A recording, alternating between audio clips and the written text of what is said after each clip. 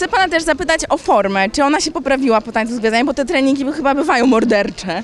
Oj, bardzo, bardzo mordercze. Na budowie jest ciężko, ale tutaj naprawdę jest e, jeszcze gorzej na parkiecie. No, ćwiczymy po kilka godzin dziennie, e, więc e, inaczej, inaczej pracują mięśnie na budowie, inaczej pracują na parkiecie, więc e, dla mnie to była całkowita nowość i, i naprawdę trudne, ale, ale daje radę. No. A Udało się panu zgubić jakieś kilogramy? E, Na pewno, ale nie liczę, nie waży się, zważy się dopiero aż, e, aż odpadnę. Naprawdę, ale Tak. to wie pan jaka była waga początkowa i dopiero na końcowej pan się zważy. Wiem, ale nie będę zdradzał. A nie, nie, nie pytałam absolutnie. Ja też nie lubię, jak ktoś mnie pyta o wagę. Nie, nie, nie, nie, nie takie rzeczy.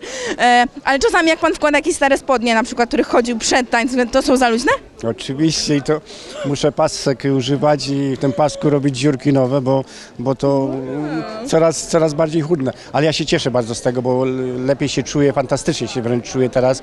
E, no jak będę gubił to i w pasie i w wadze, to, no to będzie świetnie. Ale super, oj, to ja też powinna wystąpić w jakimś programie tanecznym, może by mi się to przydało.